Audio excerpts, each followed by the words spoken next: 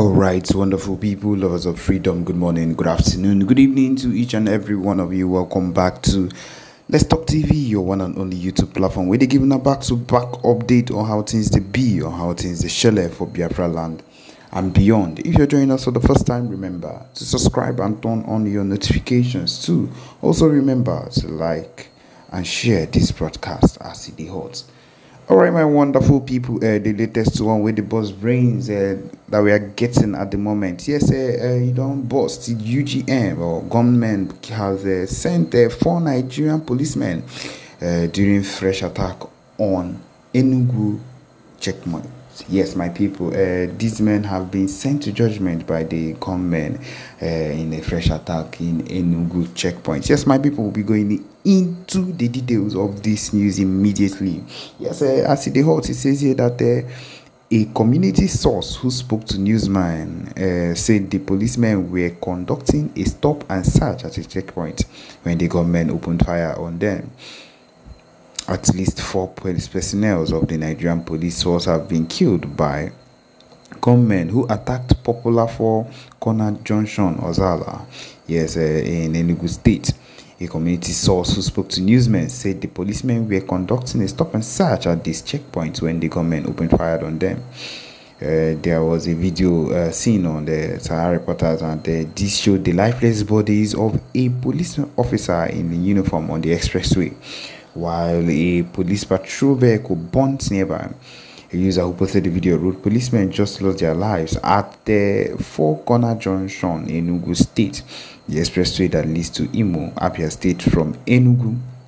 Unknown gunmen attacked the police checkpoints at the Four Corners uh, Enugu today, being uh, today, and killed the policemen uh, as uh, in Biafra land. If you know, you know. Another one added. Uh, as of the time of this report, the police public relations officer for Enugu State, DSP Daniel uh, Ndukwe, has not answered calls or responded to messages. This is how it always is, my people. Similarly, Mr. Dan Nwomeh, the special assistant to Governor Peter Mbah on media, had not provided a comment or confirmation of the incident. A former information minister and 2023 All, All Progressive Grand uh, Alliance governorship candidate Dr. Frank Nweke Jr. condemned the attack, describing it as an act of wickedness, of course.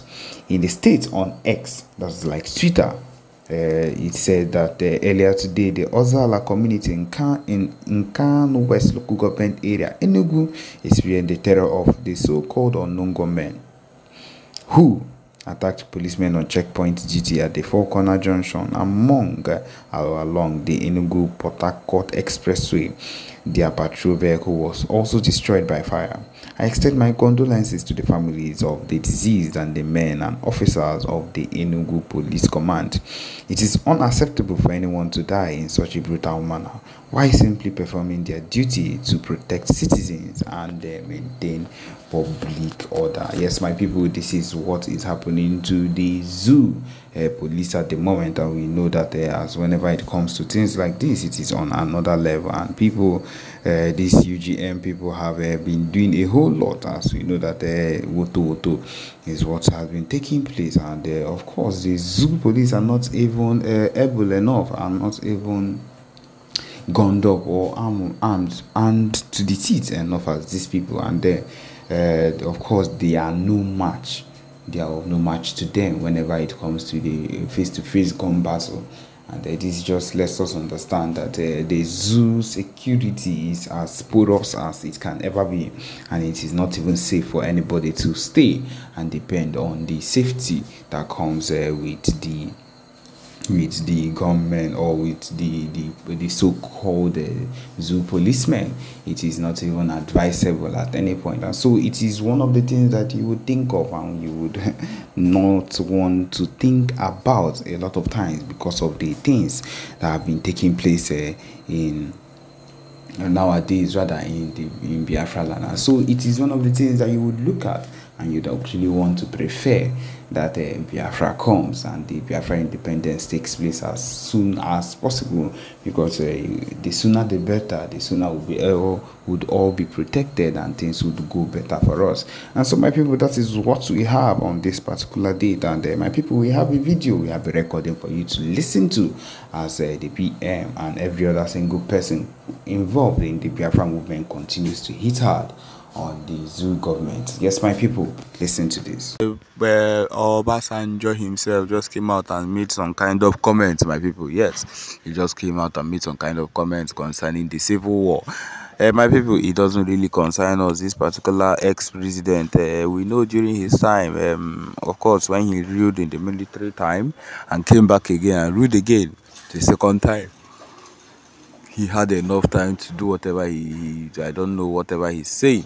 But then of course um, the most important thing for us to have in our minds on is that uh, we ourselves as uh, as Biafrans must do the needful. Okay, my people, he he's talking about the Biafra war.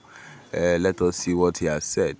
Um, he says here, Olusegun Obasanjo, the former president of Nigeria, recently spoke at the conference on youth leadership titled Opportunities for Peace, Roles of the Youth in Conflict uh, Prevention in Africa. He called on youths to be advocates of uh, conver conversation over violence, highlighting the critical role that youths play in promoting peace. Uh, my people, I, I made a distinct recently. I say we cannot go down if not if we are not if you've not done the needful. We can peace is not even an option right now. If people have decided not to give us what we want if you've decided not to give us a Mazen the Kano has decided not to give us a Biafra freedom, a Biafra referendum, peace is not an option. And so whatever you say now in uh, in a conference might be true and will be moved by gullible people that do not know what the true movement for the Biafra army or the true movement for the Biafra is. Uh, they are the ones that might look into it. But the true people know the reason why we've been fighting this hard and we've been fighting for this long. Uh, and that is those are the people that will not give up or that will not be moved by these gullible uh, uh, speeches that he's making at this particular point. He said, according to him, according to Obasanjo's article, he said that the country has shown resiliency, resiliency during the civil war by returning to the round table for settlement in spite of severe conflict. He exhorted the youths of today to adopt his, this mindset and convince those who lean violently to think twice. Additionally, he emphasizes the significance of uh, fostering a culture of peace and empathy in the next generation.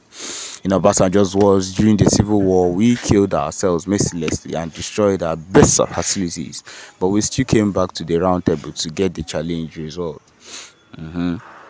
Youth must develop the culture of peace, the culture of humanness, the culture of of living the way God wants us to live. Okay, so now this is what uh, He is advising them to do. But then to do what is needful, we have we Biafrans have always been people of peace. We have always wanted peace in our lives. Every single thing about us has always been about peace. Are not people of war. We do not we do not want war. We have never ever wanted war. But then it is the situation people put us into that make us want to lean to war. Yeah, of course, that is the situation. We are not people of war. He's I don't know if he's trying to say that the war and everything that is happening now is how no the youths of nowadays, the Biafrans of nowadays, are leaning into war because that is what they have pushed us into.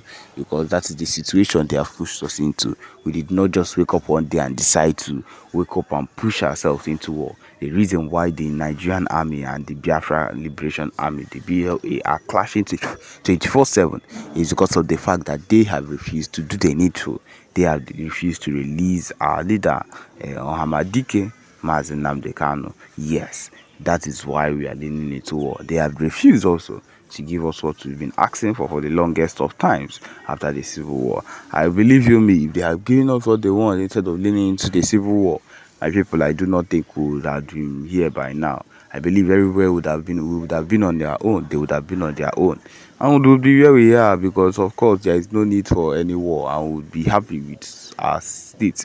And by now, I believe you me, the kind of progress we would have made would not be one to even be trifled with. But of course, now so it be, now so it hot. Uh, once you come for these conferences, they will just make it look like everything that is happening now is our fault because violence is not the answer. Aneku, aneku, aneku. This is none of this is going to make the real Biafrans turn away from what is needful. Uh, on the people that cannot be turned, can, cannot be swayed by these gullible talks, they know the real fight and they are not going to give us. And so, on that particular note, nothing of such can make us uh, uh, give up on our fight or stop doing whatever it is we, we've been doing ever since.